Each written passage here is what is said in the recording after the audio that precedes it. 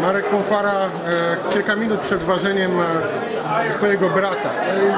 E, rola menadżera, rola brata, która ważniejsza? Wiesz co, no ja tam uważam się bardziej za brata niż za menadżera. Eee, inaczej do tego podchodzę niż zwykły menadżer pewnie do, do zawodnika. Andrzej jest moim bratem i, i podchodzę do tego jako, jako brat, nie jako menadżer. To jest też Twój sukces. To jest ten Twój sukces, te negocjacje. Byłeś tym, który zawsze wybierał taką drogę, która, tak jak wspomniałeś, dzieliła, właściwie łączyła to, że jesteś bratem, jednocześnie pomaga w prowadzeniu biznesu. Ale była też twarda rozmowa parę lat temu, o której Ty i ja wiemy, że powiedziałeś Andrzejowi, Andrzej, z tym talentem no, trzeba coś spróbować.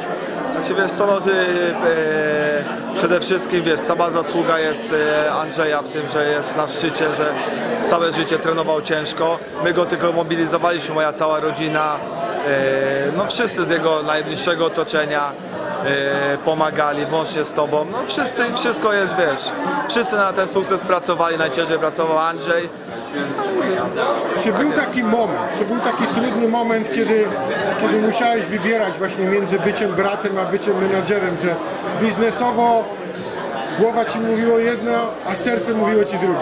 Nie, szczerze to jakoś nie mieliśmy takich większych dramatów. Zawsze Andrzej, jeżeli chodzi o różne załatwianie spraw, zostawia to mi. E, nie wywiera jakiejś presji. Co, co, jest, co ustalimy, to tak jest. Nie było jakichś nigdy sprzeczności, sprzecznych zdań i zawsze jakoś się dogadywaliśmy. Nigdy w życiu się nie pokłóciliśmy.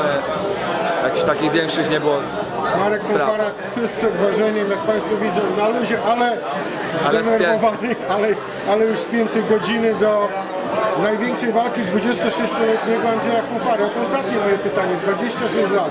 Wielu pięściarzy czeka na taką szansę całe życie.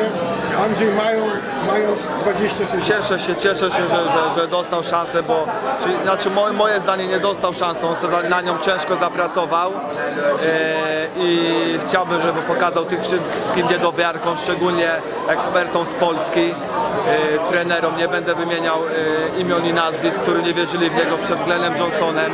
E, dużo ludzi mi odradzało walkę z Campillo, że po ciężkiej kontuzji, że to jeszcze nie ten moment, nie ten czas. E, jednak my ustaliliśmy z Andrzejem, że nie będziemy, nie będziemy na nic czekać. Andrzej jest gotowy e, na dobre, piękne pojedynki. I cieszę się również, że telewizja Polsat zaczęła z nami współpracę, że wreszcie pokaże prawdziwy boks Polaka. E, Cieszę się, cieszę się serdecznie. Andrzej Konfara już Państwo widzą skąd ma ten bojowy charakter i bojowy nastrój. Marek Konfara, dziękuję bardzo Marek. Dziękuję serdecznie.